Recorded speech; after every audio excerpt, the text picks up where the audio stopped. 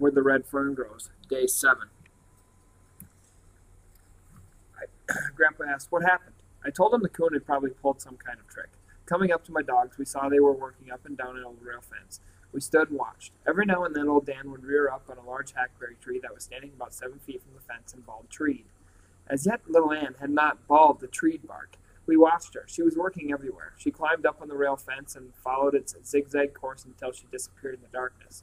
I told Papa I was sure the coon had walked the rail fence and in some way had fooled my dogs. Old Dan would keep coming back to the hackberry tree. He would rear up on it and bawl treed. We walked up to him. Looking the tree over, we could see that the coon wasn't in it. The judge said, It looks like he has them fooled. Maybe you'd better call them off, Grandpa said. We can go someplace else and hunt.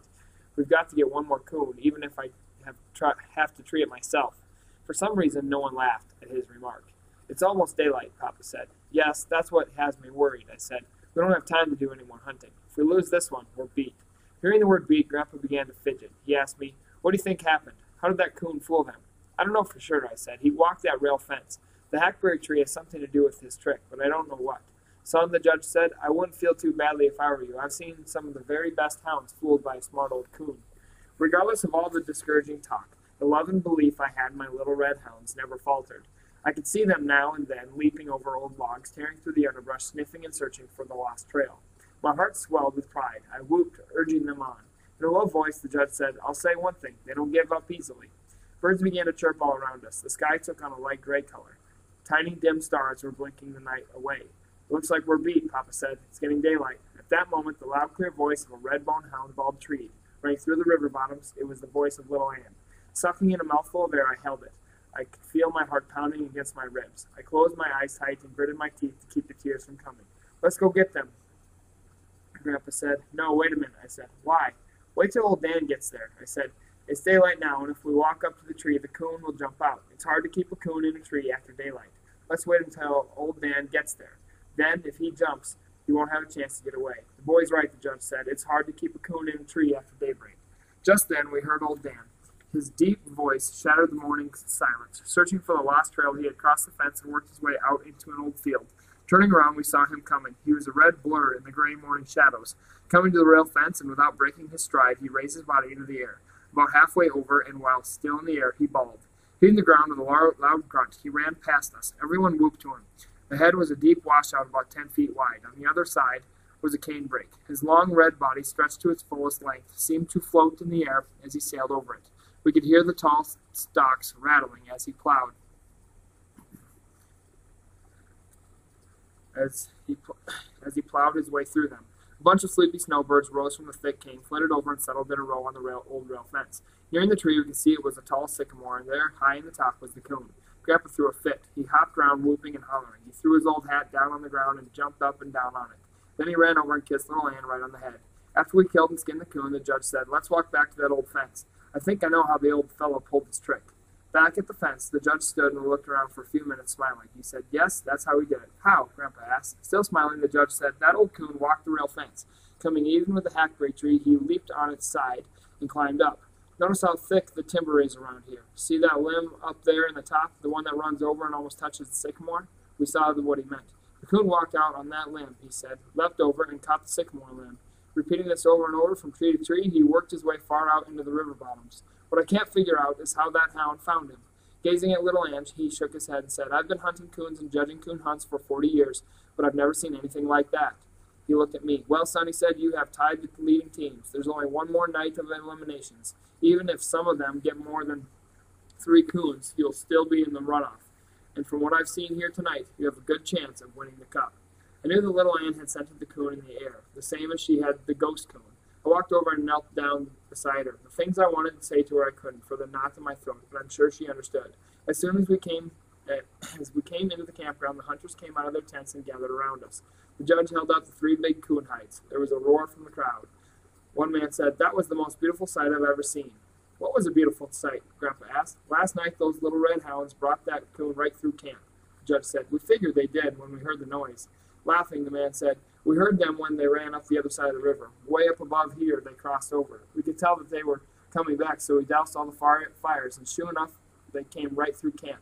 Those two little hounds were, weren't 50 yards behind the coon, running side by side. Boy, were they picking them up and laying them down and bawling every time their feet touched the ground. I tell you, it was the prettiest sight I ever saw. When the judge started telling about the last little coon little Ann had treed, I took my dogs over to our tent and fed and watered them. After they had their fill, I gave them a good rub down with a piece of gunny sack. Taking them out to the buggy, I tied them up. I stood and watched while they twisted around in the hay, making their bed. That day I tried to get some sleep in our tent, but the soaking Grandpa had taken in the river had given him a cold, causing him to snore. I never heard such a racket in all my life. I've sworn he rattled the paper sacks in our grocery boxes. Taking a blanket, I went out to my dogs. Little Ann had wiggled up as close to old Dan as she could. Prying them apart, I lay down between them and fell asleep. The last night of the eliminations turned out like the second night. None of the judges turned in more than two hides. That day, about noon, the owners of the other winning teams and I were called for a conference with the head judge. He said, Gentlemen, the eliminations are over. Only three sets of hounds are left for the runoff. The winner of tonight's hunt will receive the gold cup. If there is a tie for the championship, naturally there will be another runoff. He shook hands with each of us and wished us good luck. Tension began to build up in the camp. Here and there, hunters were standing in small groups talking. Others could be seen going in and out of tents with rolls of money in their hands. Grandpa was the busiest one of all. Of all. His voice could be heard all over camp. Men were looking at me and taking in low tone, talking in low tones. I started like a turkey gobbler. That evening, while we were having supper, a hunter dropped by. He had a small box in his hand. Smiling, he said, "Everyone has agreed that we should have a jackpot for the winner. I've picked to do. I've been picked to do the collecting." Grandpa said, "You may as well leave it here now." Looking at me, the hunter said, Son, I think almost every man in this camp is hoping you win it. But it's not going to be easy. You're going up against four of the finest hounds there are. Turning to my father, he said, Did you know the two big Walker hounds have won four gold cups?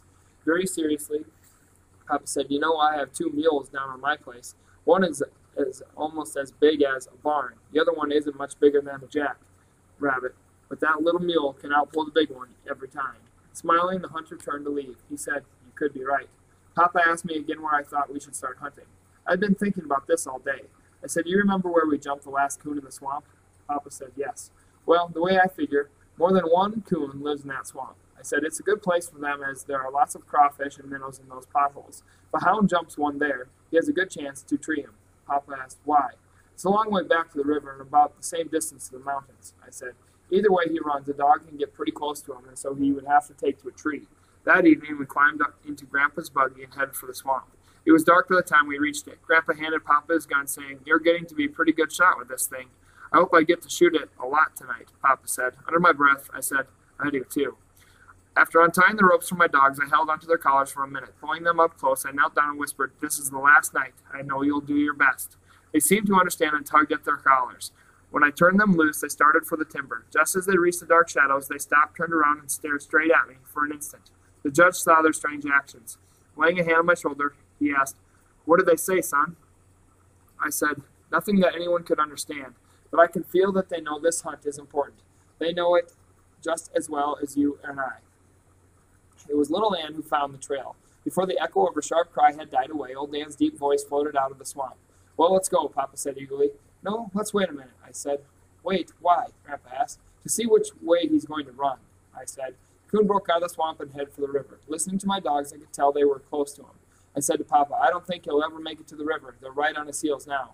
By the time we had circled the swamp, they were bawling treed. The judge said, Boy, that was fast. I felt my father's hand on my shoulder. Looking at me, he smiled and nodded his head. Papa and I knew I had judged the coon perfectly. He didn't have time to reach the river or the mountains.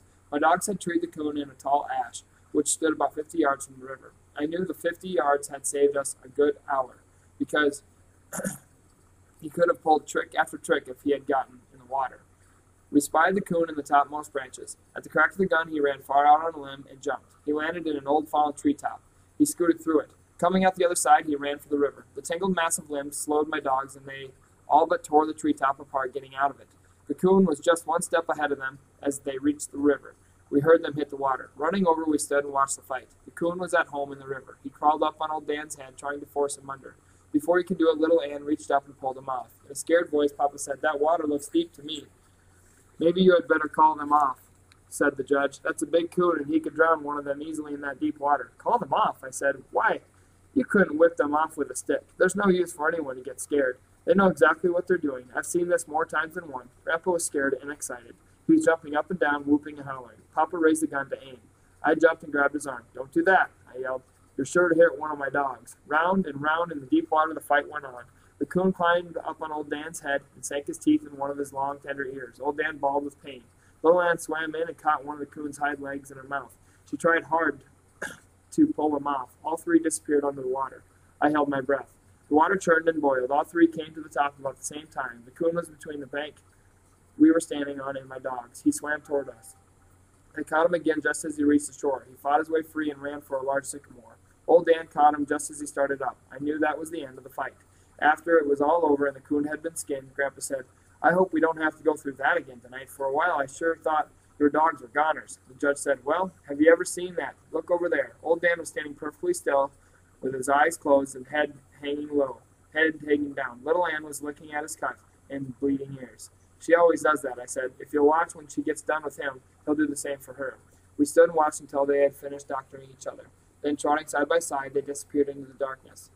We followed along, stopping now and then to listen. Chapter 17.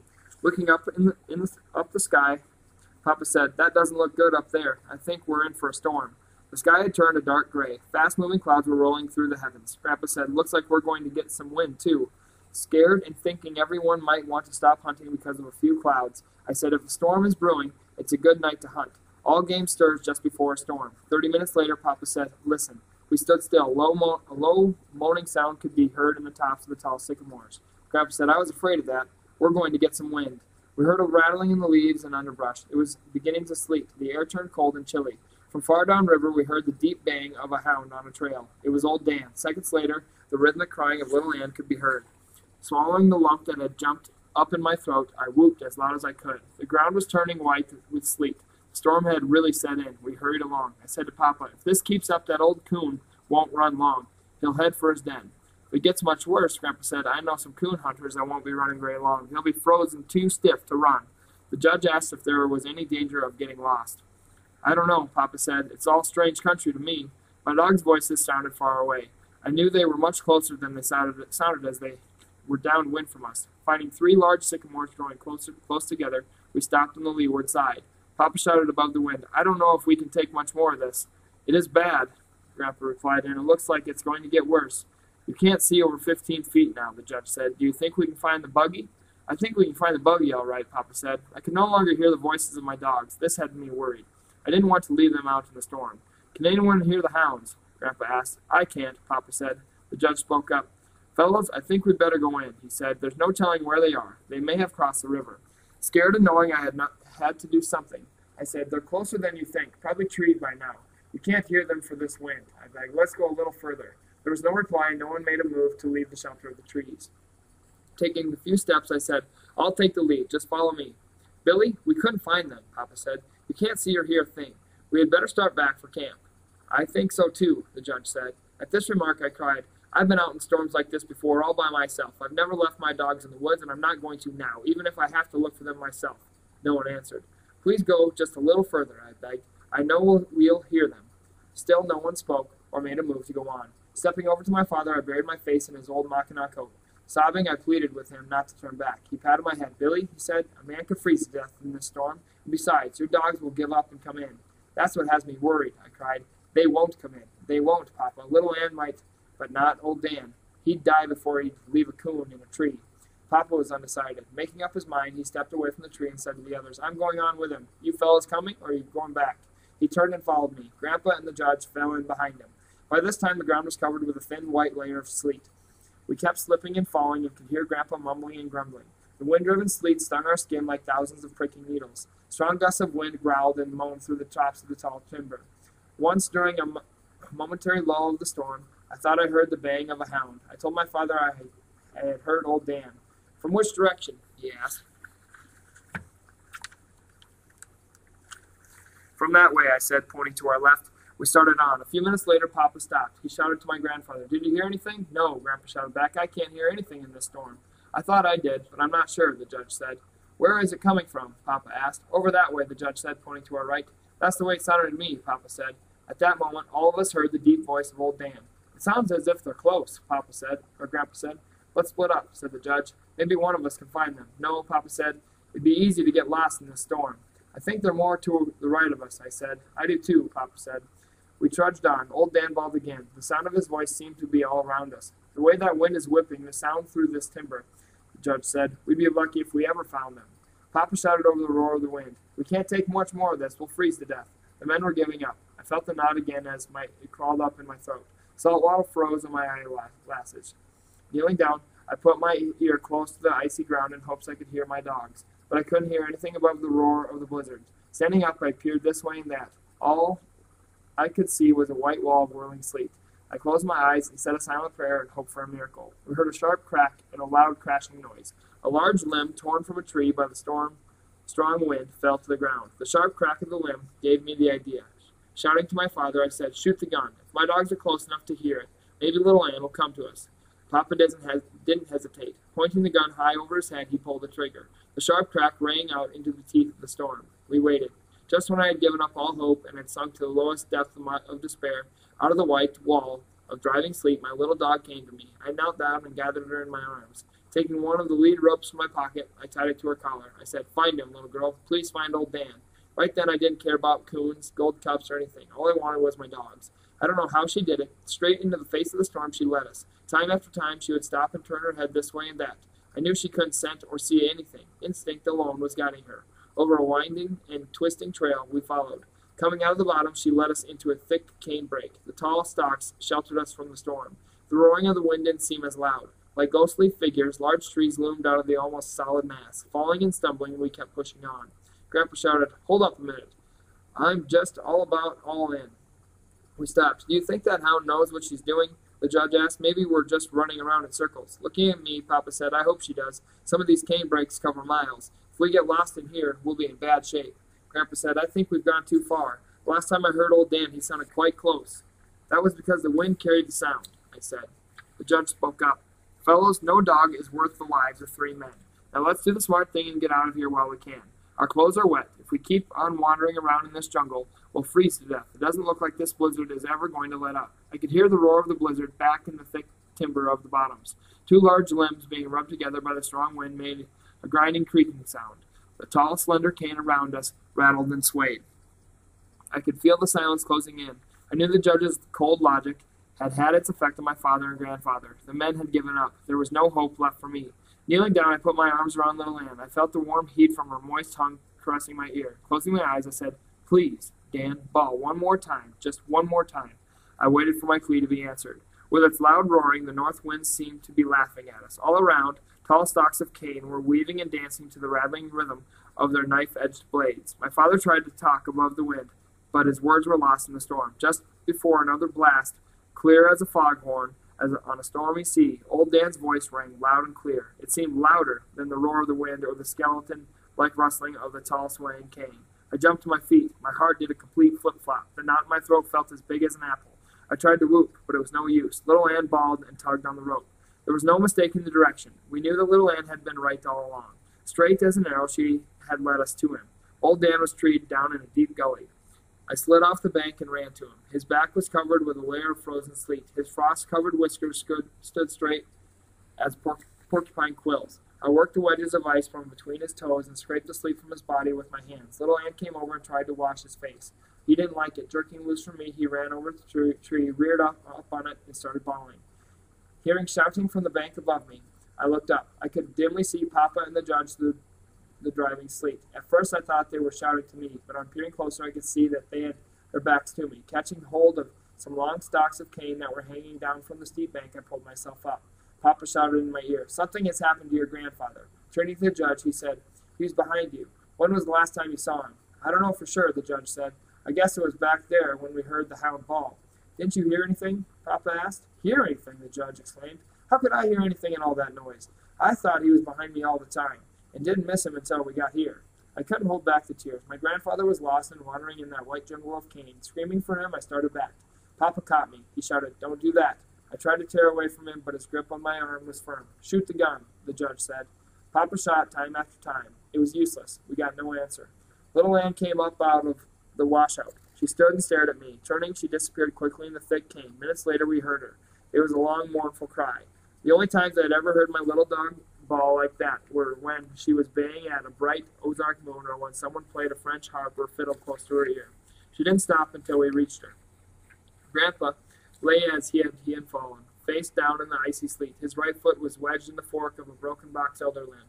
When the ankle had twisted, the searing pain must have made him unconscious. Papa worked Grandpa's foot free and turned him over. I sat down and placed his head in my lap. While Papa and the judge massaged his arms and legs, I wiped the frozen sleep from his eyes and face. Burying my face in his iron gray hair, I cried and begged God not to let my grandfather die. I think he's gone, the judge said. I don't think so, Papa said. He took a bad fall when that limb tripped him, but he hasn't been lying here for long, long enough to be frozen. I think he's just unconscious. Papa, Papa lifted him to a sitting position and told the judge to start slapping his face. Grandpa moaned and moved his head. He's coming around, Papa said. I asked Papa if we could get him back to the gully where old Dan was. I had noticed there was very little wind there and we could build a fire.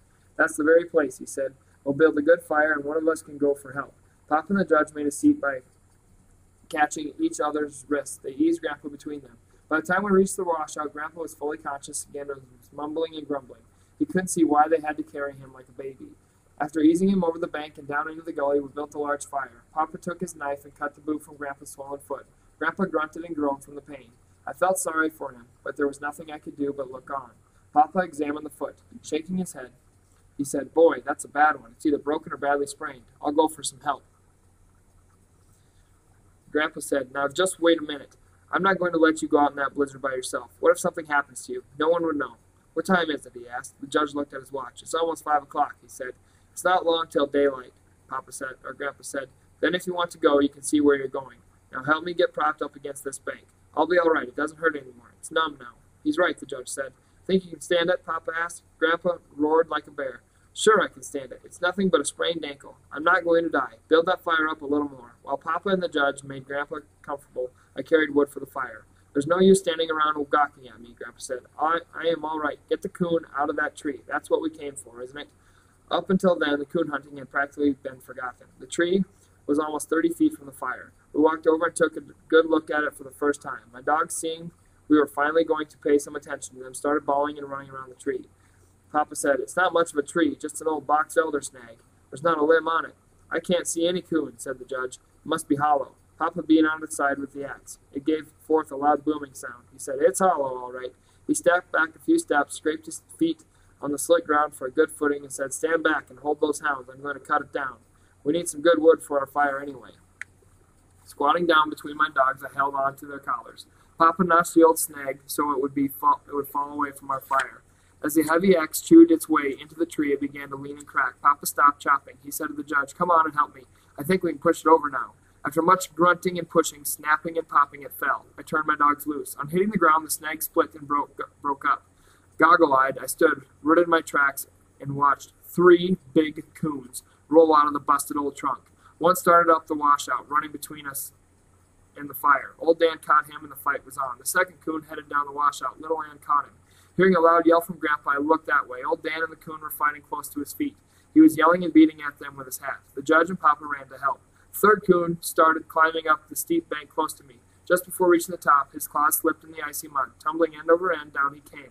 I grabbed up a stick and threw it at him. Growling and showing his teeth, he started for me. I threw the fight to him then and there. Some ten yards away, I looked back. He was climbing the bank. That time he made it and disappeared in the thick cane. Hearing a squall of pain from Lil Ann, I turned. The coon was really working over. He had, cl- had climbed up on her back and was tearing and slashing. She couldn't shake him off. Grabbing a club from the ground, I ran to help her. Before we had killed our coon, old Dan came tearing in. We stood and watched the fight. When the coon was dead, Papa picked it up and we walked back to the fire. How many coons were in that old snag? Papa asked. I saw three, I said. The one that got away climbed out over there. I pointed in the direction of the coon had taken. I never should have pointed. My dogs turned as one. They started bawling and clawing their way up the steep bank. I shouted and scolded, but to no avail. They disappeared in the rattling cane. We stood listening to their voices. The sound died away in the roaring storm. Sitting down close to the fire, I buried my face in my arms and cried. I heard the judge say to my father, This beats anything I've ever seen. Why, those dogs can read that boy's mind. He just pointed at the bank, and away they went. I never saw anything like it. I can't understand some of the things they have done tonight. Hounds usually aren't that smart. If they were collies or some other breed of dog, it would be different. But they're just red-bone hounds, hunting dogs. Papa said, Yes, I know what you mean. I've seen them do things that I couldn't understand. I've never heard of hounds that have ever had any affection for anyone, but these dogs are different. Did you know they won't hunt with anyone but him, not even me? Hearing my grandfather call my name, I went over and sat down by his side. Putting his arm around me, he said, Now, I wouldn't worry about those dogs. They'll be all right. It's not long till daybreak, daylight. Then you can go to them. I said, Yes, but what if the coon crosses the river? My dogs will follow him. If they get wet, they could freeze to death. We'll just have to wait and hope for the best, he said. Now straighten up and quit that sniffling. Act like a coon hunter. You don't see me bawling, and this old foot is painting me something awful. I felt better after my talk with Grandpa. Come on, let's skin these coons, Papa said. I got up to help him.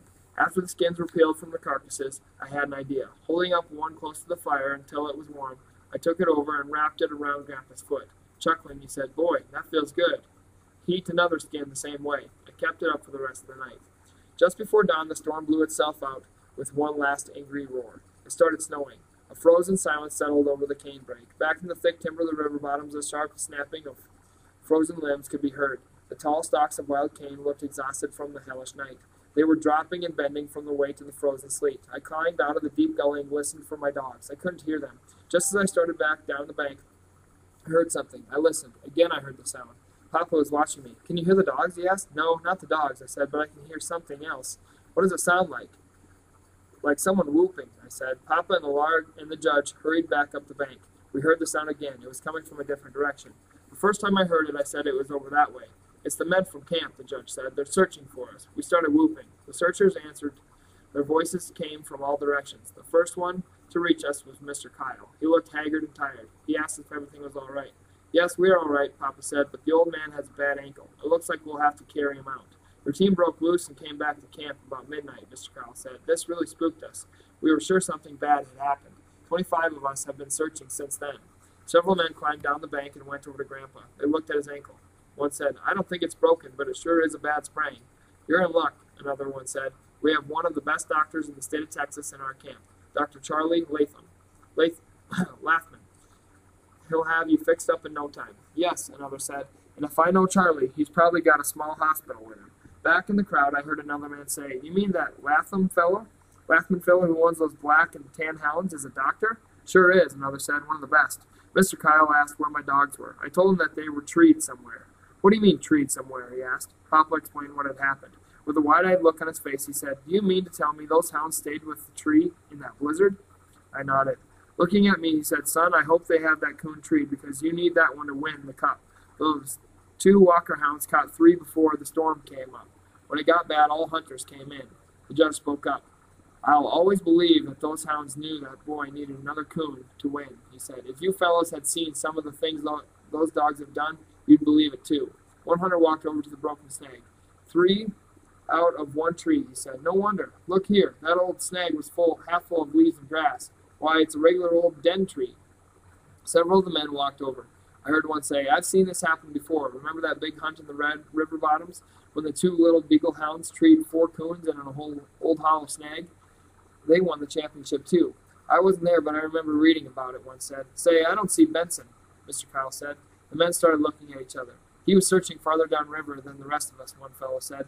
Maybe he didn't hear us shouting. Some of the men climbed out of the gully. They started whooping. From a distance, we we heard an answering shout. He hears us, someone said. He's coming.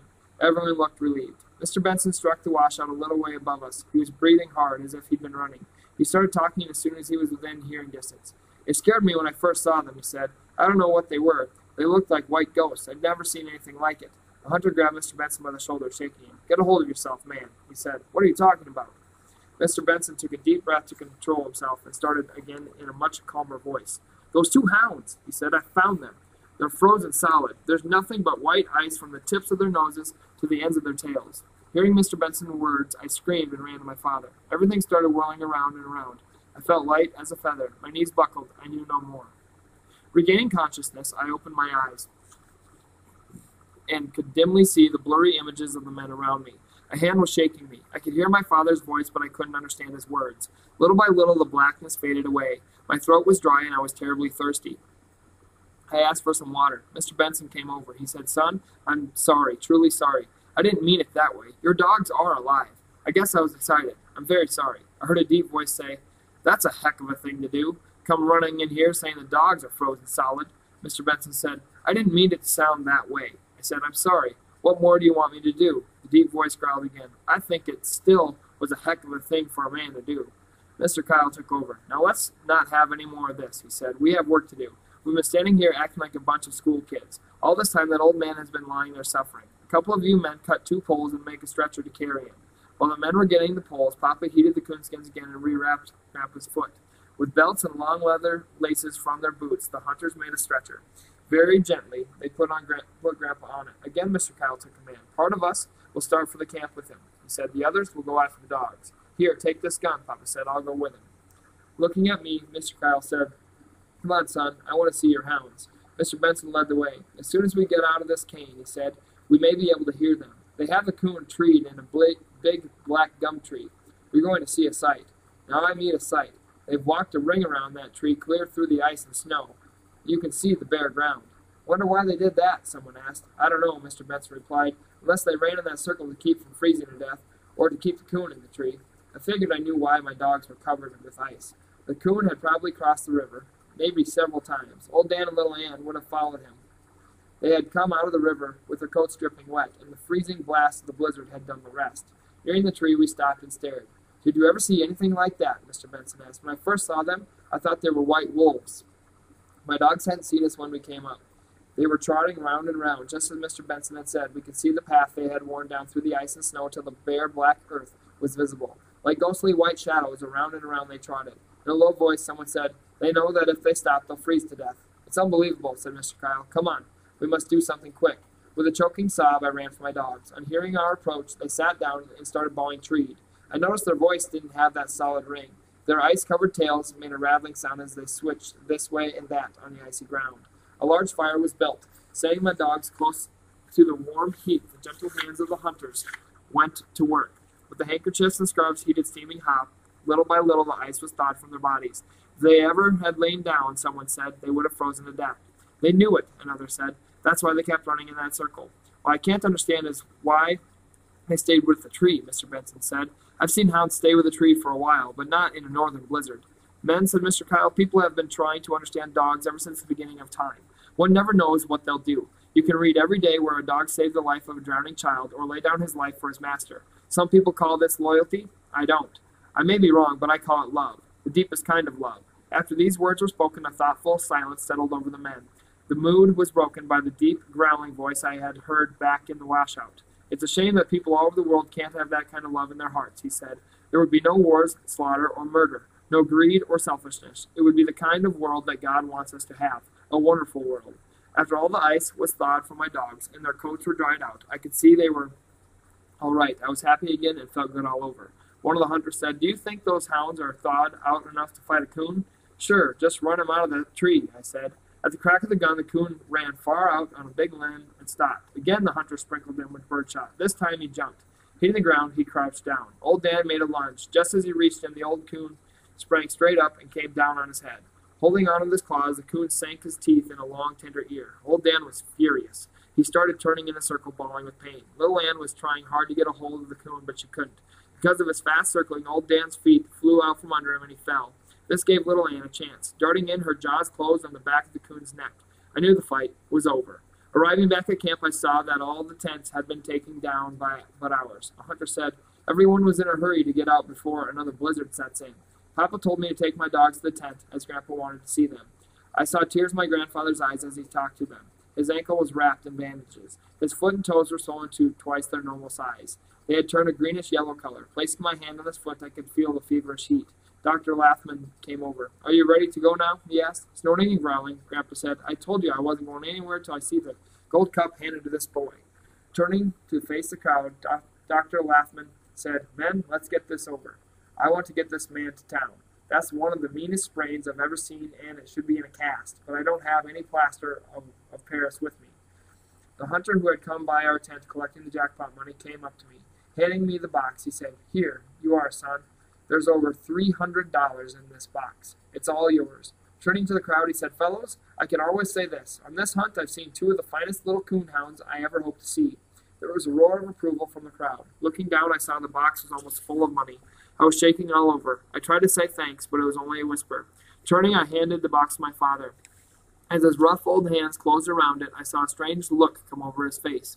He turned and looked at my dogs. Some of the men started shouting. Here it is. The crowd parted and the judge walked through. I saw the gleaming metal of the gold cup in his hand. After a short speech, he handed it to me, saying, Son, this makes me very proud. It's a great honor to present you with this championship cup. The crowd exploded. The hunters' shouts were deafening. I don't know from where the two silly old tears came. They just squeezed their way out. I felt them as they rolled down my cheeks. One dropped on the smooth surface of the cup and splattered. I wiped it away with my sleeve. Turning to my dogs, I knelt down and showed the cup to, to them. Little Ann licked it. Old Dan sniffed one time and then turned his head away. The judge said, Son, there's a place on the cup to engrave the names of your dogs. I can take it into Oklahoma City and have it done, or you can have it done yourself. The engraving charge has already been paid by the association. Looking at the cup, it seemed that far down in the gleaming shadows I could see two wide blue eyes glued to a window pane. I knew that my little sister was watching the road and waiting for our return. Looking back at the judge, I said, If you don't mind, I'll take it with me. My grandfather can send it in for me. Laughing, he said, That's all right. Handing me a slip of paper, he said, This is the address where you should send it. Grandpa said, Now that that's settled, I'm ready to go to town. Turning to my papa, he said, You'll have to bring the buggy, and I wish you'd look after my stock. I know Grandma will want to go in with us, and there'll be no no one there to feed them. Tell Bill Lowry to come up and take care of the store. You'll find the keys in the usual place. We'll take care of everything, Papa said. Don't worry about a thing. I don't intend to stop until we get back because it looks like we're in for some more bad weather. I went over and kissed Grandpa goodbye. He pinched my cheek and whispered, We'll teach these city slickers that they can't come up here and beat our dogs. I smiled. Grandpa was carried out and made comfortable in the back seat of Dr. Lathman's car. I stood and watched as it wheezed and bounced its way out of sight. While I'm harnessing the team, Papa said, you take the tent down and pack our gear. On the back seat of the buggy, I made a bed out of our bedclothes. Down on the floorboards, I fixed a nice place for my dogs. All through the night, the creaking wheels of our buggy moved on. Several times I woke up. My father had wrapped a tarp around himself. Reaching down, I could feel my dogs. They were warm and comfortable. Early the next morning, we stopped for breakfast. While Papa tended to the team, I turned my dogs loose and let them stretch.